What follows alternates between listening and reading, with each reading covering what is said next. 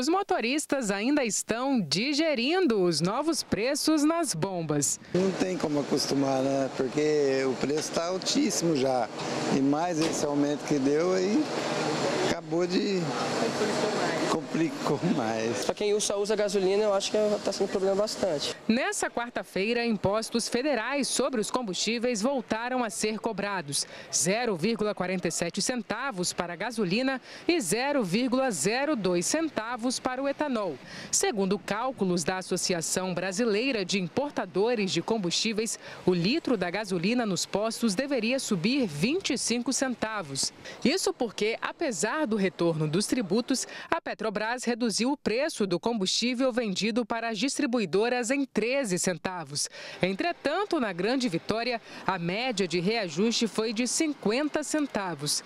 Neste posto da capital, a gasolina é vendida por R$ 5,49.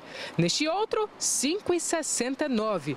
Já esse aí está mais caro, R$ 5,99. Eu estou vindo aqui da Avenida Vitória e vi alguns postos que estão com preço abusivo.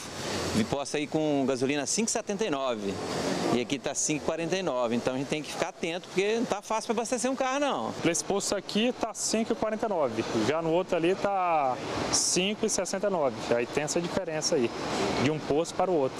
Mais do que o prometido. É, mais do que o prometido, mas sempre foi assim. O Sindipostos argumentou que o aumento das distribuidoras está maior do que as projeções do mercado e do anunciado pelo governo federal.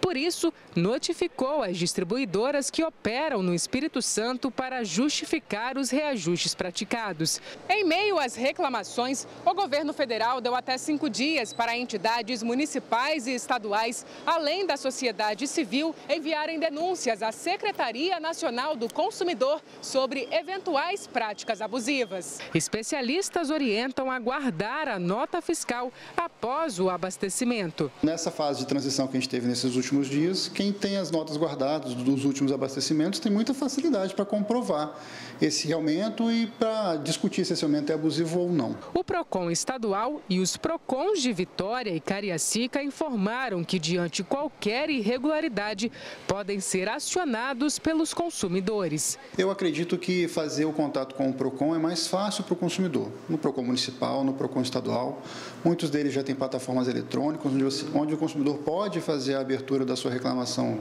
pela internet, então nem precisa se deslocar até o órgão.